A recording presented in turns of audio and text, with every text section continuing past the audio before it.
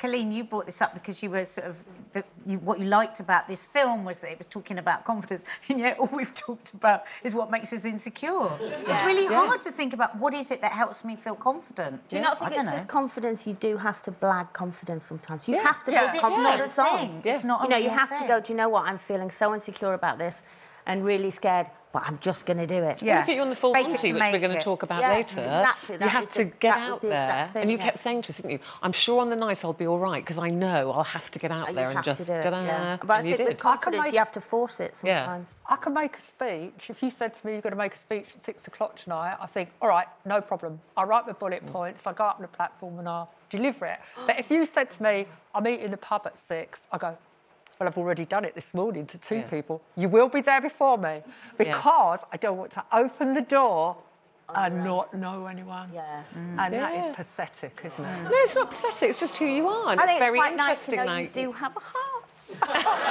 yeah, buried in there somewhere. Well, maybe that's what Sajid Javid was doing, just trying to look confident in his first day. well, I think new it's because as his dad was a bus driver. Yeah, Yeah. sorry, Nadia. No, so, no, go on.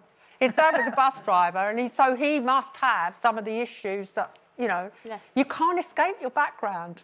No, but then you should applaud. should I mean, that should be something, surely. No, that I am goes, How amazing! him. His dad came here with Yeah. a, from Pakistan with a pound in his pocket.